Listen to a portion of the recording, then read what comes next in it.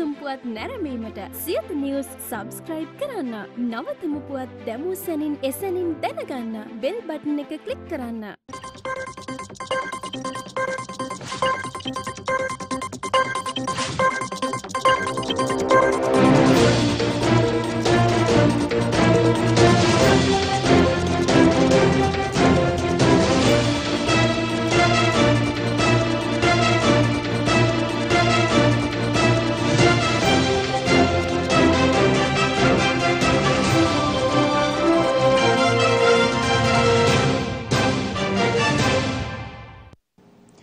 ආයිබෝවන් සැමට කලින් සත්‍ය ප්‍රථමයෙන් ගෙනෙන්න අදත් අපි සූදානම්.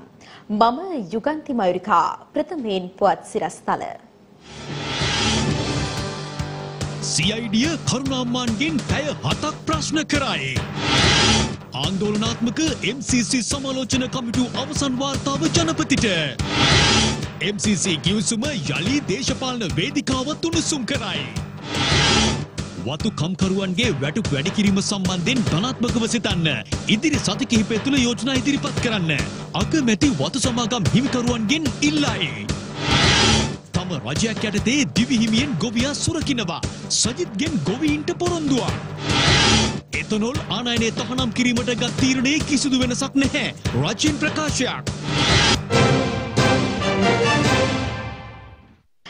දැන් දේශීය පුවත්. විනයක මූර්ති මුරලිතරන් හෙවත් කරුණා අම්මාන් ප්‍රකාශයක් ලබා දීම සඳහා අද අපරාධ පරීක්ෂණ දෙපාර්තමේන්තුව වෙත පැමිණියා. ඒ LTT යුද සමයේදී හමුදා නිලධාරීන් ඝාතනය කිරීමේ සිද්ධියක් සම්බන්ධයෙන් ඔහු කළ ප්‍රකාශයකට අදාළවයි. පැය පහක පමණ කාලයක් ඔහු මෙම ප්‍රකාශය ලබා දී තිබෙනවා. විනයක මූර්ති මුරලිතරන් හෙවත් කරුණා අම්මාන් LTT නැගෙනහිර සන්නද්ධ අංශයේ නායකයාව සිටි සමයේදී යුද හමුදා සමාජිකයන් ඝාතනය කිරීමක් සම්බන්ධයෙන් පසුගියදා සිදු කළ ආන්දෝලනාත්මක ප්‍රකාශයට අදාළව ප්‍රකාශයක් ලබා දීම සඳහා අද පෙරවරුවේ විනයක මූර්ති මුරලිතරන් හෙවත් කරුණා අම්මාන් අපරාධ පරීක්ෂණ දෙපාර්තමේන්තුව වෙත පැමිණියා.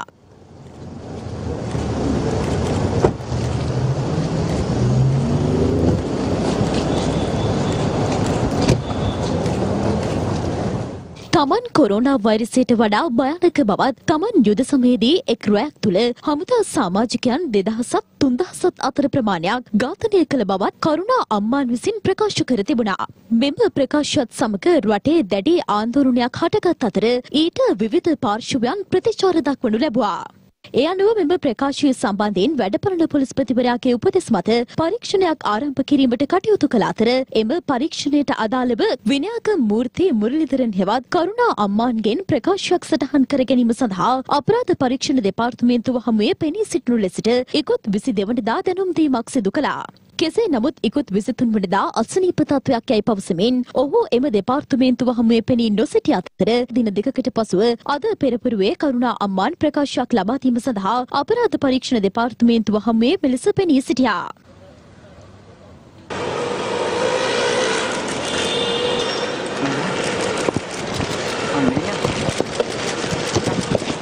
විසන්නලන්න නඩන්නද?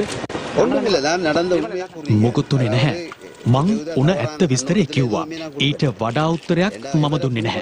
நீங்க சொன்ன கருத்து தொடர்புல இலங்கையில பல பாகங்கள் இருக்கக்கூடிய அரசியல்வாதிகள் வந்து உங்க மேல குற்றச்சாட்டுகள் முன்வைக்கிறாங்க அல்லது உண்மையா தவறான விடயம் ඒක වැරදි ක්‍රියාවක්. මොකද ඒ කාලේ වුණ දෙයක් ගැන කතා කරලා අපේ රජයට සිංහල ජනතාවගේ ඡන්ද අඩු කිරීමේ බලාපොරොත්තුවක් තමයි තියෙන්නේ. அவை இதை அஹ் இது தொட- இந்த கருத்து தொடர்புல ஸ்ரீலங்கா பொதுஜன பெருமனவர் வந்து உங்களுக்கு ஏதாவது சொன்னாங்களா නැහැ. පොදුජන පෙරමුණේ කවුරුත් අ, මුකුත්ම කිව්වේ නැහැ. මම අම්පාර දිස්ත්‍රික්කෙන් තනි පක්ෂයක් යටතේ තරඟ කරන්නේ. කිසිම පක්ෂයකට කිසිම දේශපාලඥයෙකුට රිදවීමේ අරමුණින් මම මේ ප්‍රකාශ කළේ නැහැ. කාගෙවත් අගේ අඩු කරන්නත් මට අවශ්‍ය නැහැ. මේ අතර විනයක මූර්ති මුරලිදරන් හෙවත් කරුණා අම්මාන් අත්අඩංගුවටගෙන නීතිය ක්‍රියාත්මක කරනු ලෙස වැඩපළන පොලිස්පතිවරයා වෙත නියෝගයක් නිකුත් කරන්නයි ඉල්ලා ශ්‍රේෂ්ඨාධිකරණයට මූලික අයිතිවාසිකම් පෙත්සමක් ඉදිරිපත් වුණා. කඩුවෙල නගර සභාවේ නාගරික මන්ත්‍රීවරයෙකු මෙන්ම උපකාර පන්ති ගුරුවරයෙකු වන බෝසත් කලහේ පතිරණ මහතා විසින් මෙම පෙත්සම ඉදිරිපත් කළා. එහි වගඋත්තරකරුවන් ලෙස නීතිපතිවරයා විනයක මූර්ති මුරලිදරන් හෙවත් කරුණා අම්මාන් සහ වැඩපළන පොලිස්පතිවරයා නම් කර තිබෙනවා. මෙම සිද්ධිය සම්බන්ධයෙන් විමර්ශනයක් සිදු කරන ලෙස පූජ්‍ය ඔමල්පේ සෝපිත හිමියන් විසින් අපරාධ පරීක්ෂණ දෙපාර්තමේන්තුවට පැමිණිල්ලක් සිදු කළත් මේ දක්වා විධිමත් පරීක්ෂණයක් ආරම්භ කර නොමැති බවයි පෙත්සම්කරු චෝදනා කර සිටියේ. ඒ අනුව කරුණා අම්මා නතරංගුවටගෙන නීතිය ක්‍රියාත්මක කරනු ලෙස වැඩපළල පොලිස්පතිවරයා ඇතුළු වග උත්තරකරුවන්ට නියෝගයක් නිකුත් කරනු ලෙසද පෙත්සම්කරු ශ්‍රේෂ්ඨාධිකරණයෙන් ඉල්ලා තිබෙනවා. සහස්‍රක අභියෝගතා සමායතන යෝජනාවලිය හෙවත් MCC සමාලෝචනය කිරීමේ කමිටුවේ අවසන් වාර්තාව අද ජනාධිපති ගෝඨාභය රාජපක්ෂ මහතා වෙත බාර දෙනු ලැබුවා. සහස්‍ර අභියෝගතා සමායතන යෝජනාවලියේ සමාලෝචනය කිරීමේ කමිටුව එම කමිටුවේ අවසන් වාර්තාව අද ජනාධිපති ගෝඨාභය රාජපක්ෂ මහතා වෙත බාර දෙනු ලැබුවා. සහස්ෘක අභියෝගතා සමායතන යෝජනාවලිය හෙවත් MCC සමාලෝචනය කිරීමේ කමිටුව විසින් MCC ගිවිසුම සම්බන්ධයෙන් මාස 6ක කාලයක් අධ්‍යයනයක නිරත වූ අතර එහිදී විවිධ ක්ෂේත්‍රයන්හි අදහස් හා යෝජනාද සැලකිල්ලට ගනු ලැබුවා. ඉන් අනතුරුව සිදු කරන ලද දීර්ඝ අධ්‍යයනයකින් පසුවයි එම කමිටුව විසින් නිර්දේශ සහිත වාර්තාව මෙලෙස පිළිගන්වනු ලැබුවේ. ඊයේ එම වාර්තාව අග්‍රාමාත්‍ය මහින්ද රාජපක්ෂ මහතා හටද බාර දුන්නා. අග්‍රාමාත්‍ය කාර්යාලය නිවේදනය කළේ එය කැබිනට් මණ්ඩලය වෙත ඉදිරිපත් කිරීමට නියමිත බවයි. අග්‍රාමාත්‍ය මහින්ද රාජපක්ෂ මහතා විසින් කැබිනට් මණ්ඩලයේ අනුමැතිය සහිතව මෙම කමිටුව පත් කරනු ලැබුවා. එහි සභාපතිවරයා ලෙස කටයුතු කළේ කොළඹ විශ්වවිද්‍යාලයේ ආර්ථික විද්‍යා අංශයේ මහාචාර්ය ලලිත සිරි ගුණරුවන් මහතායි. ඒ මහතා ජනාධිපතිවරයා වෙත මෙම වාර්තාව පිළිගැන්වීමෙන් අනතුරුව මෙලෙස අදහස් පළ කළා. මේ මිලේනියම් චැලෙන්ජ් එකේ කරපු ලෝකයේ රටවල් හුඟක් තැන්වල ඒ අවුරුදු දෙක තුනක් යනකොට ජනාධිපතිතුමනි මේ මිනිස්සුන්ගේ ඉඩම් ටික විදේශිකයෝ විසින් දැහැගෙන විශේෂයෙන් අධ්‍යයනයක් කළා ඒ සම්බන්ධයෙන් මැඩගස්කරයේ සහ හොන්ඩියුරාස් වල වෙලා තියෙන දේවල් මේකේ තියෙනවා ජනාධිපතිතුමනි අපිට පෙනිච්ච තව ගැටලුවක්. ඒක තමයි මේගොල්ල ඇවිල්ලා අස්සම් කළාට පස්සේ පස්සේ ඒගොල්ලෝ එතන ඉන්නවා. මේක අතරමඟ නවත්තනවා. මොකක් හරි නිදහසට කරුණක් දාලා ආණ්ඩුව ප්‍රජාතන්ත්‍රවාදී නෑ. මානව අයිතිවාසිකම් උල්ලංඝනය කරලා. ඔහොම කියලා මේක පාට ප්‍රධානය නවත්තනවා. ප්‍රධානය නැවතුවට මේකේ කොන්දේසි තියෙනවා. ඒගොල්ලන්ගේ ඉන්ට්‍රස්ට් රැකීම සඳහා ඒ කට්ටිය මෙහි ඉන්නවා කියලා. එතකොට හොන්ඩියුරාස් වලටයි මැඩගස්කරටයි වෙලා තියෙන්නේ අර ගත්ත ඉඩම් ටික අර මේ ඔක්කොම අන්‍යකරණය වුණා. හැබැයි දීපු සල්ලි ටික 125කට 30කට වැඩිය රටට එන්නේ නැහැ. මොකද ප්‍රධානය නැවතිලා. මේක ඒගොල්ලන් පිටමන් කරගන්න විදියකුත් නැහැ. ඉතින් ඒකට ඕන කරන කොන්දේසි ටික හරි ලස්සනට මේක ඇතුලේ ගැට ගහලා නූල් බෝලයක් වගේ දාලා තිනවා. අපි එන්නම් අස්සම් කරන්න ගන්නම් පටන් ගන්නම් ආපහු යන්න බෑ. මේක ආධාරයක් තමයි. ණය නෙමෙයි. ඔය වගේ රටකට සම්පත් හිඟ රටකට මේක කෙනෙක් කියන්න පුළුවන්. ඉතින් ආධාරය ගන්න නැත්තේ ඇයි රටේ වැදගත් ව්‍යාපෘතියක් නම් කියලා. ආධාරය ගත්තා කි. හැබැයි ආධාරයත් එක්ක හදන gedara දොරේ අතුර අපි යාට දෙන්න ඕන. ඒකයි කොන්දේසිය. ඉතින් දොරේ අතුර දුන්නයි කියන්නේ ගේ අපිට අයිති නෑ කියන එක ඊට පස්සේ. ඉතින් ඒකට අපිට එකඟ වෙන්න බෑනේ. ඉතින් ඒකට ඕන කරන කොන්දේසි රාමුව තමයි මේක ඇතුලේ හදලා තියෙන්නේ. ආන්දෝලනයකට තුඩු දුන් MCC කිවිසුම සම්බන්ධයෙන් දේශපාලන වේදිකාවේ අද විවිධ අදහස් පළ වුණා.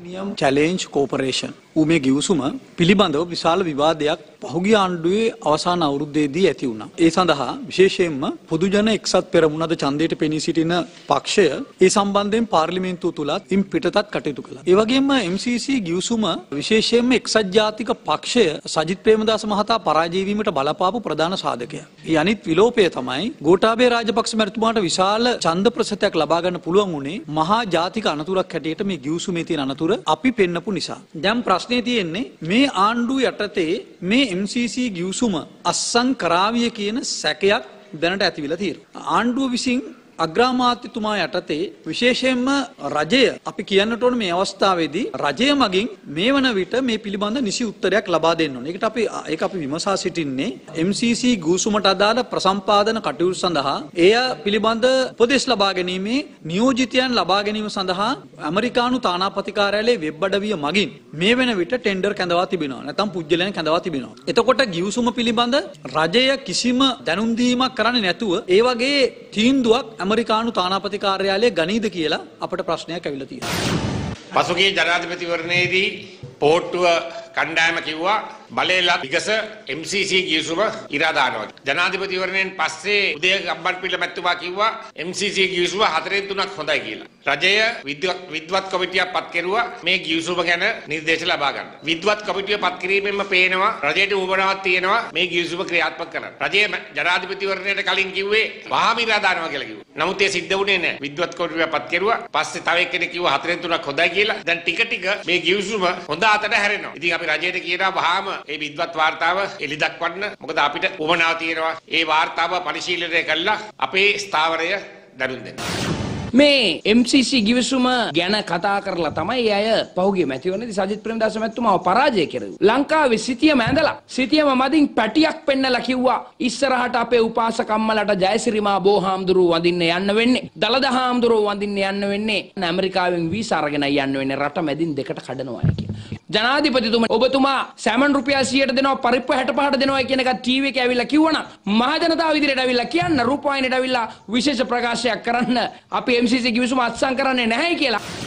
එක්සත් ජාතික පක්ෂයේ විසින් සකස් කළා මේ මිලේනියම් චැලෙන්ජ් කෝපරේෂන් වෙත ඉදිරිපත් කරපු ගිවිසුම රටේ මූලික නීතිය වන ආණ්ඩු ක්‍රම ව්‍යවස්ථාවේ සමහර වගන්ති වලට පටහැනි බවත් රටේ පවතින සාමාන්‍ය නීති පද්ධතියට පටහැනි බවත් එවැනි ගිවිසුමක් අත්සන් කිරීමේදී අදාළ ආයතනවල රාජ්‍ය ආයතනවල නිසි අනුමැතිය ලබා නොමැති බවත් අතුරු වාර්තාවේ තිබුණා. ඒ අනුව රජයේ පැහැදිලි ප්‍රතිපත්ති තීරණයක් ගත්තා. කුමන රටක් සමග හෝ කුමන බලවතෙක් සමග හෝ රටේ ආණ්ඩු ක්‍රම ව්‍යවස්ථාවට හා රටේ නීති පද්ධතියට පටහැනි කිසිම කිවිසුමකට මොනම වාසියක් ලැබුණයි කිව්වත් අත්සන් කරන්නේ නැහැ කිය. ඒ තමයි රජයේ ප්‍රතිපත්ති. ඊයේ දිනේදී සම්පූර්ණ වාර්තාව අග්‍රාමාත්‍යතුමාට බාර දීලා. සම්පූර්ණ වාර්තාව බාර දුන්නාම ඒ වාර්තාවේ තියෙන්නේ මොනවද? ඒ වෙනුවෙන් ගන්න ක්‍රියාමාර්ග මොනවද කියන එක පිළිබඳව අපි පැහැදිලි කිරීමක් කරනවා. මේ සියල්ල විනිවිද පේන ආකාරයෙන් ජනතාවට දැනුම් දීලා තමයි ආණ්ඩුව සියලු දේ කරන්නේ.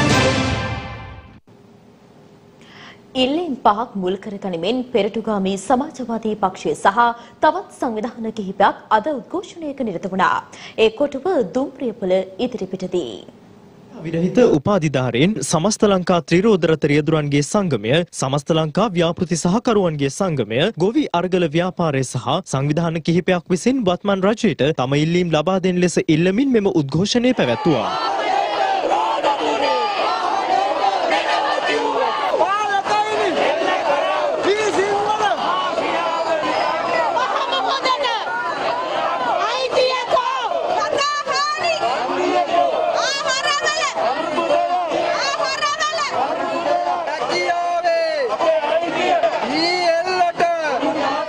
කොරෝනාව පාවිච්චි කරන මේ ආයතන තමන්ගේ සේවකයන්ගේ වැටුප් කප්පාදු කරන්න. වැටුපෙන් භාගයේ 160යි 140යි මේනකොට වැටුප් ගෙවන්නේ. ඒ නිසා මේක බරපතල අසාධාරණයක්. අපිට සිද්ධ වෙන පීඩාවට පත් වෙච්ච සියලුම ත්‍රිරෝදරතුන විශේෂයෙන්ම මේව ලබා ගැනීම සඳහා අපේ අයිතිවාසිකම් වෙනුවෙන් මහපාරට බෑලා හයර් දීම පැත්තකට දාලා මේ ලබා දෙන අයිතිවාසිකම් වෙන මොකද හේතුව වැඩි හරියක් ත්‍රිරෝදරත ලීසින් එක්ක තමයි දුවන්නේ. අලුතින් රැකියාවකට යන්න හිටපු දස දහස් ගාණක් තරුණ තරුණියන්ට හෙට දවසේ අත් වෙන්න තියෙන ඉරණම තමයි මහපාරට වැටෙන එක. මහපාරට වැටෙන එක. එහෙම නැත්නම් අද රැකියා ලක්ෂයක් දෙනවා කියලා කිව්වා.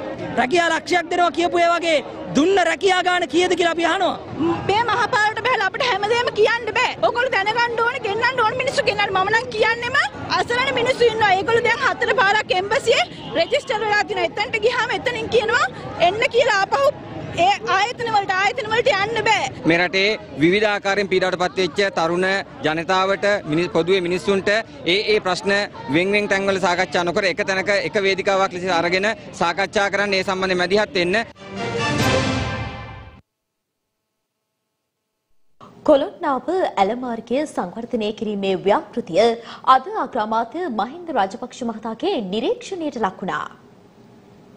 නාගරික සංවර්ධන අධිකාරිය සහ පහත්පිම් සංවර්ධන මණ්ඩලය එක්ව කොළඹ ගංගතුර පාලනය කිරීමේ සැලැස්මේ එක් අධීරක් වන කොළොන්නාව ඇලමාර්ගයේ සංවර්ධනය කිරීමේ ව්‍යාපෘතියේ ප්‍රගතිය සොයා බැලීම සඳහා අග්‍රාමාත්‍ය මහින්ද රාජපක්ෂ මහතා අද පෙරවරුවේ එම ව්‍යාපෘතිය සිදු කෙරෙන කොළොන්නාව අවධි ප්‍රදේශයේ නිරීක්ෂණ චාරිකාවක නිරත වුණා.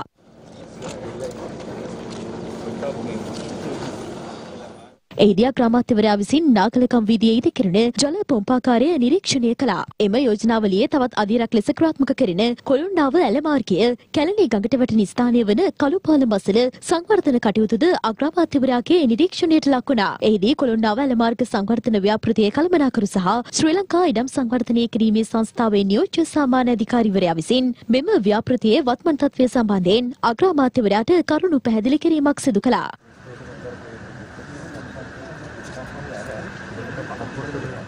ඉඩන්තුරුව වැල්ලම්පිටිය පාලම තුප්පාවිල ඇලමාර්ගය සැලලිහිණි මවදස්සල ඇලමාර්ගය යන ස්ථානද අග්‍රාමාත්‍යවරයාගේ නිරීක්ෂණයට ලක්වුණා.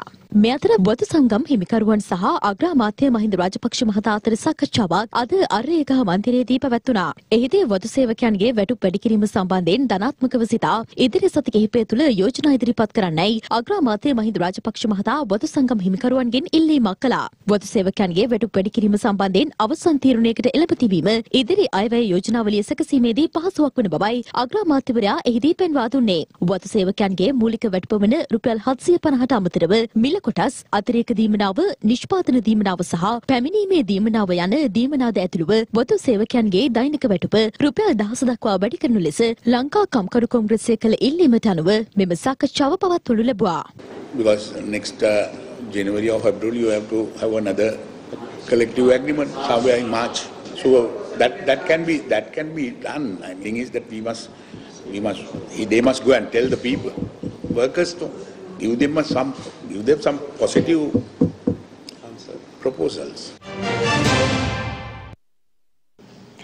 ශ්‍රී ලංකාවට එතනෝල් ආනයනය සම්පූර්ණයෙන්ම තහනම් කිරීමට ගත් තීරණයේ කිසිදු වෙනසක් සිදු නොකරන බව සම් කැබිනට් මාධ්‍ය ප්‍රකාශක අමාත්‍ය රමේෂ් පතිරණ මහතා පවසනවා. ඒ කැබිනට් තීරණ දැනුම් දීමේ මාධ්‍ය හමුවට එක්වෙමින් මෙම මාධ්‍ය හමුවේදී සම කැබිනට් මාධ්‍ය ප්‍රකාශක අමාත්‍ය බන්තුල ගුණවර්ධන මහතාද අදහස් පළ කළා.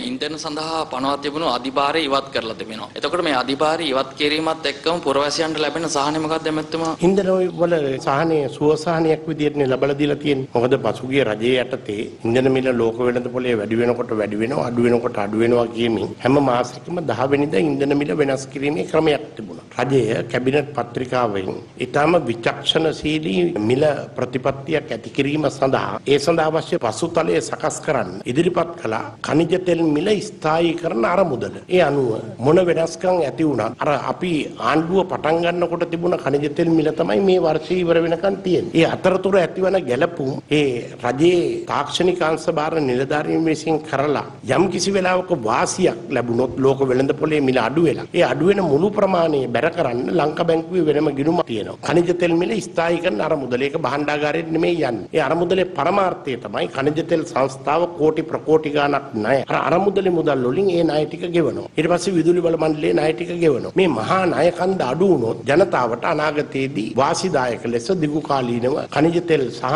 විදුලියේ මිල අඩු වෙලා ලබා ගන්න පුළුවන්. එතනෝල් ආනයනය සඳහා පනවා තිබූ තහනම ඉවත් කිරීමේ සූදානමක් නෑ එම එම තහනම අපි ඉවත් කරන්නේ නැහැ. ඇත්තටම අපිට ප්‍රකාශ කරන්න අවශ්‍ය බොහොම පැහැදිලිවම අපේ ආනයන සීමා කිරීම යටතේ අතකරු ජනාධිපතිතුමන් ආරම්භක කාලයේදීම ලංකාවට එතනෝල් ආනයනය කිරීම සම්පූර්ණයෙන්ම නතර කරා. සම්පූර්ණයෙන්ම රජයේ සතු ලංකා ෂුගර් ලිමිටඩ් පැලවත්ත සහ සෙවනගල සීනි කර්මාන්ත අයිති රජයට එහි සීනි නිෂ්පාදනය අතුරුඵලයක් හැටියට එතනෝල් නිෂ්පාදනය වෙනවා. එම එතනෝල් ප්‍රමාණය ලංකාවේ අවශ්‍ය නිෂ්පාදන සඳහා සම්පූර්ණයෙන් ප්‍රමාණවත්. අපි එතනෝල් ආනයනය තහනම් කරා විතරක් නෙවෙයි ලංකාවේ නිෂ්පාදනය කරන එතනෝල් විශේෂයෙන්ම ලංකා ශුගාතනයේ නිෂ්පාදන එතනෝල් සඳහා අවශ්‍ය ස්ථාවර මිලක් ඇති කරලා තිබෙනවා. අපිට අවශ්‍යයි දේශීය කර්මාන්තය ආරක්ෂා කරන්න ප්‍රවර්ධනය කරන්න අපේ රාජ්‍ය ප්‍රතිපත්තිය එකයි. ඒ නිසා අපි ඒක ආරක්ෂා කරනවා ප්‍රවර්ධනය කරනවා පිටරටින් එතනෝල් අපි අරගෙන එන්නේ නැහැ. ඕගැනික් එතනෝල් අවශ්‍ය කර්මාන්ත ඉතා සුළු ප්‍රමාණයක් තිබෙනවා. ඒවට අවශ්‍ය එතනෝල් ප්‍රමාණය තාම සුළු පරිමාවක්. ඒවා එවැනි අවස්ථාවලදී විශේෂිත අවසරයක් අපි ලබා දෙන්න සලකා බලනවා. තාම අවසර ලබා දුන්නේ නැහැ. හැබැයි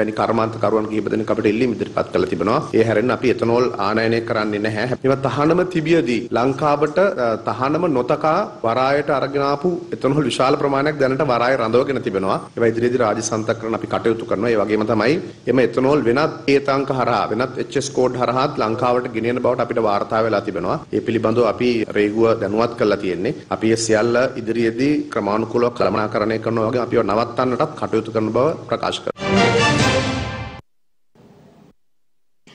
ගොවියා ආරක්ෂා කරන වැඩපිළිවෙලක් අගෝස්තු 5 වෙනිදායින් අනතුරුව ගොඩනගන බව සමගී ජනබලවේගයේ නායක සජිත් ප්‍රේමදාස මහතා පවසනවා. ඒ ගාල්ල හිනතුම ප්‍රදේශයේ අද පැවති ජනහමුවකට එක්වමින් ජනබලවේගයේ නායක සජිත් ප්‍රේමදාස මහතාගේ සහභාගීත්වයෙන් ගාල්ල හිනතුම ප්‍රදේශයේදී ජනහමුවක් සංවිධානය කර තිබුණා. හිතාදර විත්තවරුනි අපේ මේ ගමන තුල ජයග්‍රහණය කරන්නේ රටේ ජනතාව. පස්වෙනිදට විහිවෙන අපේ රජය තුලින් අනිවාර්යෙන්ම තේගොවියා සුරකින තේගොවියා ආරක්ෂා කරන ඒ වගාහානි මණ්ඩි ටික නියම් ආධාර වන්දි ටික ලබා දීමේ වැඩ කටයුතු රටේ අගමැතිවරයා හැටියට ඒ යුතුයකම් සම්භාරය අපි ඉටු කරනවා කියන එක මේ අවස්ථාවේ ප්‍රකාශ කරනවා. මේ වර්තමාන රජය මම හඳුන්වන්නේ බුරුකාර වංචාකාර රජයක් හැටියට. ඇයි එහෙම කියන්නේ? මේ බුරුකාර වංචාකාර රජය කිව්ව නේද?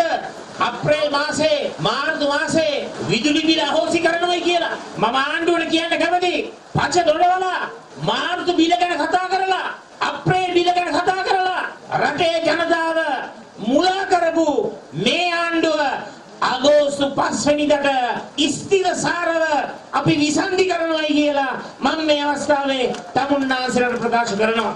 එක දවසෙන් තුන්දාහක් හමුදාවේ මරමුවට පත් කිරීමේ ගමනට නායකත්වය ලබා දුන්නු කරුණාව සුරතල් කිරීමයි රටේ අගමැතිතුමාගේ ප්‍රධාන කාර්යභාරය. කරුණාවන්තව පෙනී සිටිනවා. කරුණා වෙනුවෙන් කතා කරනවා. රටේ ජනතාව දැන් අනාථ කරලා තියෙනවා. දැන් අවධානය රටවටා පුවත් කිහිපයක් වෙතයි. ප්‍රවීණ නිවේදකයෙකු මෙන්ම සිනමා හා ටෙලිනාට්‍ය රංගන ශිල්පියෙකු වූ නඩරාජා සිවම් මහතා අභාවප්‍රාප්ත වී තිබෙනවා. කොළඹ පෞද්ගලික රෝහලක ප්‍රතිකාර ලබමින් සිටියදී අභාවප්‍රාප්ත වූ එතුමා මිය යන විට 74 වන වියෙහි පසු වුණා. ජාතික රූපවාහිනියේ සහ ශ්‍රී ලංකා ගුවන්විදුලියේ දමිලාංශයේ ප්‍රවීණ නිවේදකයෙකු වූ මෙතුමා ටෙලිනාට්‍ය හා චිත්‍රපට රංගන ශිල්පියෙකු ලෙස තම වෘත්තීය ජීවිතය ගෙන ගියා. නඩරාජා සිවම් මහතාගේ දේහය පිළිබඳ අවසන් කටයුතු අද පස්වරුවේ සිදු කෙරුණා. බුත්තල පැල්වත්ත ප්‍රදේශයේදී සිදු රියානතුරකින් පොලිස් නිලධාරියෙකු ජීවිතක්ෂයට පත්ව සිවිල් ආරක්ෂක සෙබලෙකු බරපතල තුවාල ලබා රෝහල්ගත කර තිබෙනවා. අධික වේගයෙන් පැමිණි කැබ් රථයක් පොලිස් නිලධාරීන් ගමන් කළ යතුරු පැදියේ ගැටීමෙන් මෙම අනතුර සිදු වී ඇති බවයි අප වාර්තාකරු සඳහන් කළේ. සිද්ධිය සම්බන්ධයෙන් වැඩිදුර පරීක්ෂණ වැල්ලවාය පොලිසිය විසින් සිදු කරනු ලබනවා. ගිරිඋල්ල සිට නාරම්මල දෙසට ධාවනය වූ යතුරු පැදියක් ලොරි රථයක ගැටීමෙන් යතුරු පැදියේ ගමන් කළ පුද්ගලයා එම ස්ථානයේදීම ජීවිතක්ෂයට පත් වී තිබෙනවා. අනතුරින් ජීවිතක්ෂයට පත් පුද්ගලයා 42 හැවිරිදි එක් දරුපියෙක් බවයි පොලිසිය සඳහන් කළේ. සිද්ධිය සම්බන්ධයෙන් වැඩිදුර පරීක්ෂණ ක්‍රියාත්මකයි. පුල්මුඩේ සිට කුරුණෑගල දක්වා හිංසාකාරී ලෙස ගවයින් දහසේ දෙනෙකු ප්‍රවාහනය කළ ලොරි රථයක් අත්අඩංගුවට ගැනීමට තඹුත්තේගම පොලිසිය සමත් වී තිබෙනවා. අත්අඩංගුවට ගත් සැකකරුවන් තඹුත්තේගම මහේස්ත්‍රාත් අධිකරණයට ඉදිරිපත් කිරීමට නියමිතයි.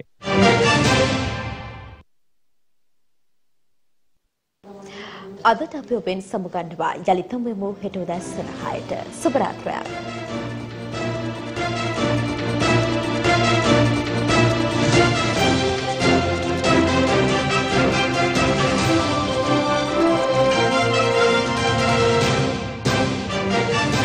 දිනපතා අලුත් වීඩියෝ සහ ප්‍රවෘත්ති නැරඹීමට ඉහත බටන එක ක්ලික් කර සියත TV සබස්ක්‍රයිබ් කරන්න.